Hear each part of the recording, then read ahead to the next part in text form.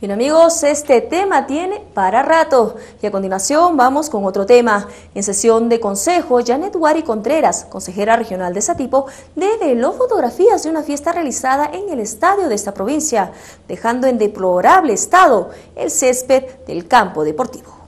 La consejera regional de Satipo, Janet Guari Contreras, reveló a través de estas fotografías durante la sesión de consejo de hoy la juerga folclórica que se armó durante Semana Santa en el estadio de esta provincia.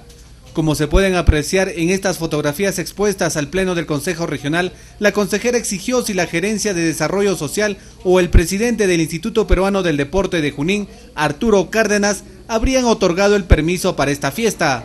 Sabrán de que el gobierno regional todavía está a cargo, eh, por la anterior gestión que se ejecuta la obra hay varios inconvenientes y ahorita a cargo está la eh, Gerencia de Desarrollo Social a través de la Sugerente de Desarrollo de.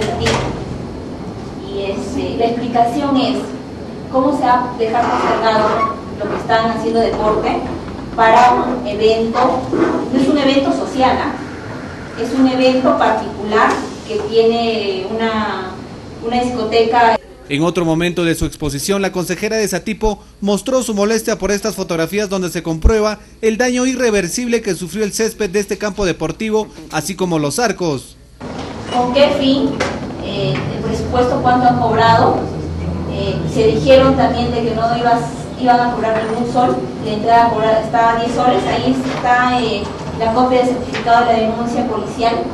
Ustedes ahí le pueden observar que está quemado. La siguiente. La siguiente. La siguiente. La siguiente. Yo no entiendo cómo lo han dado la autorización, porque eh, no tiene servicios higiénicos. Es social con la municipalidad se fijó, porque el evento, el permiso que solicita la gobernación es de la municipalidad. Pero como para, para que abran las puertas del, del estadio, tienen que tener un permiso ya sea de la gerente de desarrollo social o de algún funcionario dentro de la región. A su vez, los consejeros Silvia Castillo y Víctor Torres cuestionaron duramente a Arturo Cárdenas, quien al tomar posesión de su cargo se comprometió con mejorar este escenario deportivo como otros de la región. ¿Y cómo se encuentra? Si todos recordamos cuando el señor del IPD, cuando todavía no era presidente, nos hizo una exposición de los estadios, dijo que toda, la, toda esta cara de los estadios iba a cambiar y considero que a pesar de estar en manos del gobierno regional, el señor del IPD ha debido de ser de hacer un seguimiento a esta obra. Hincapié de que acá de por medio está el señor del IPD, porque como se ha manifestado cuando vino acá, incluso presentó las fotos tétricas de, el estadio de, de Satipo, incluso planteó que su gran reto era todo lo horrible que había encontrado, pero a cambiar.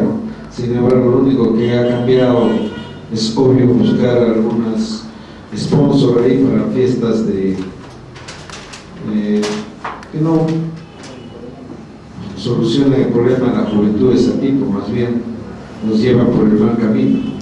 Entonces yo creo que para evitar esto debe zanjarse ya una investigación un plazo muy corto, porque no va a ser que en el estadio de Jauja, que también está ligado al IPD, se pongan a organizar este tipo de festividades, ¿no? ese sería el corto y por unanimidad se aprobó que este caso sea investigado por la Comisión de Juventudes a cargo del consejero Ginés Barrios para que en la próxima sesión exponga sus balances y cite al presidente del IPD Junín para las explicaciones del caso.